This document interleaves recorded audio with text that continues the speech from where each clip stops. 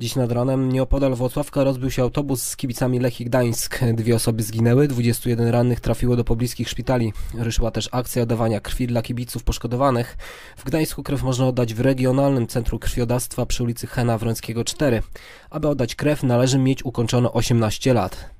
Od wczesnych godzin rannych w związku z wypadkiem, em, jaki wydarzył się e, w okolicach Włocławka, w którym uczestniczyli e, kibice klubu sportowego Lechia, em, pracujemy z, ze zdwojoną siłą.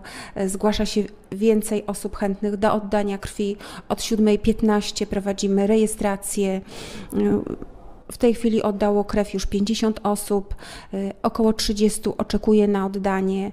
Y, Do godziny 16.30 prowadzimy w dniu dzisiejszym rejestrację dawców i w kolejnych dniach, również w sobotę do godziny 12.15. Także każdy może sobie zaplanować y, swoje oddanie krwi no, w zgodzie z pracą i innymi obowiązkami.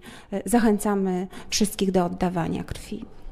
Ja myślę, że jest to taki najłatwiejszy i najszybszy sposób, żeby, żeby pomóc im. Może nie bezpośrednio, ale jednak pomóc.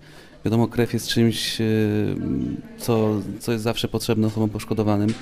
Oni w tej chwili potrzebują naszej pomocy, są w jakiejś tam potrzebie i jeżeli macie tylko okazję, czas, po prostu przyjdźcie tutaj, spędźcie chwilę czasu, oddajcie krew, bo warto, bo na pewno to pomoże komuś, jeżeli nie im bezpośrednio, to na pewno to pomoże innym ludziom.